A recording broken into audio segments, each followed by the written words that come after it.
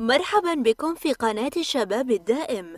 نرجو منكم الاشتراك في القناة بالضغط على زر الاشتراك مع الضغط على زر الجرس لكي يصلكم إشعار بكل جديد. وتذكروا بأن الدال على الخير كفاعله. لذلك نرجو منكم تشير الفيديو حتى يستفيد منه أكبر عدد ممكن من الناس. Brain stroke الجلطة الدماغية.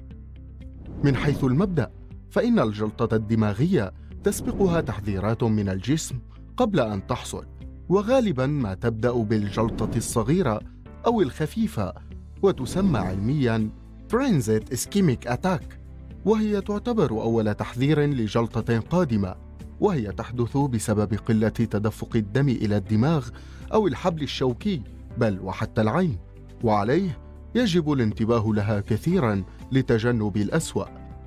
أما وقد حصلت بالفعل الآن فأريد أن أشرح لماذا تحصل عادة وكيف نتجنبها ثم كيف نعالجها.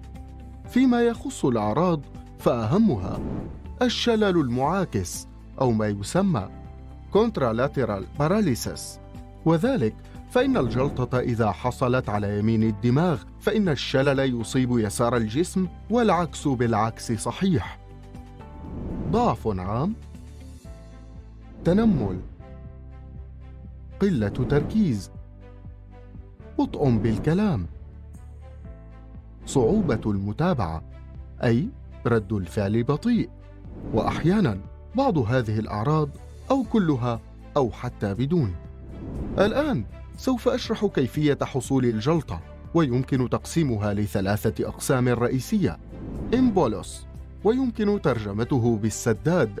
أي يسد المجرى الدموي وعادة يحصل بتجمع الكالسيوم والكوليسترول مع الألياف. والسؤال ما هي مسبباته؟ أولاً نقص فيتامين سي لأنه مضاد للالتهابات. ثانياً زيادة في الأنسولين. ولذلك نلاحظ بعد الجلطة تحدث الإصابة بالسكري. لأن زيادة الأنسولين تؤدي إلى نقص في فيتامين سي مما يؤدي إلى تقرحات في الشرايين. وهذا يؤدي إلى تجمع الكوليسترول لأجل معالجة هذه التقرحات. وهذا يستدعي قدوم الكالسيوم ثم الألياف لشفاء التقرحات وينتج عنه الجلطة. Thrombus وهي الخثرة الدموية عادة ما تبدأ من القلب. وهذه تحصل بسبب نقص في البوتاسيوم أو المغنيسيوم. Aneurysm وهو انتفاخ يشبه البالون في الشرايين وهذا سببه الزيادة في الضغط وعادة التدخين وطبعا مقاومة الأنسولين وأخيرا نقص فيتامين سي. إذا بعدما سبق كيف نعالج المشكلة أو نتجنبها؟ البدء بعملية الالتهام الذاتي الأوتوفيجي.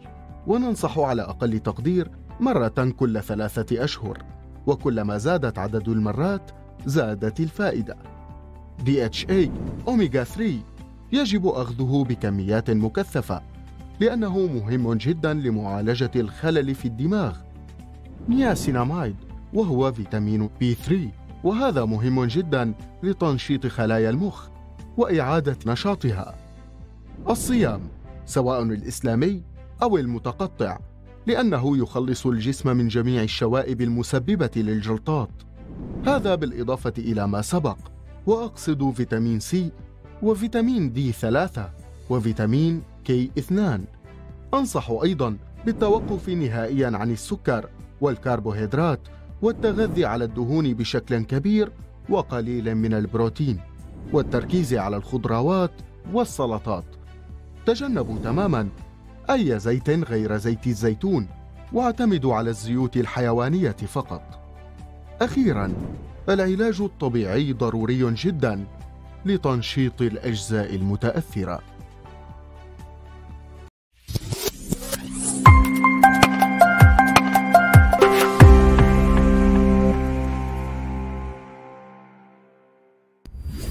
شكرا لكم على المتابعة. نرجو منكم الاشتراك في القناة بالضغط على زر الاشتراك مع الضغط على زر الجرس لكي يصلكم إشعار بكل جديد. وتذكروا بأن الدال على الخير كفاعله. لذلك نرجو منكم تشير الفيديو حتى يستفيد منه أكبر عدد ممكن من الناس. إلى اللقاء.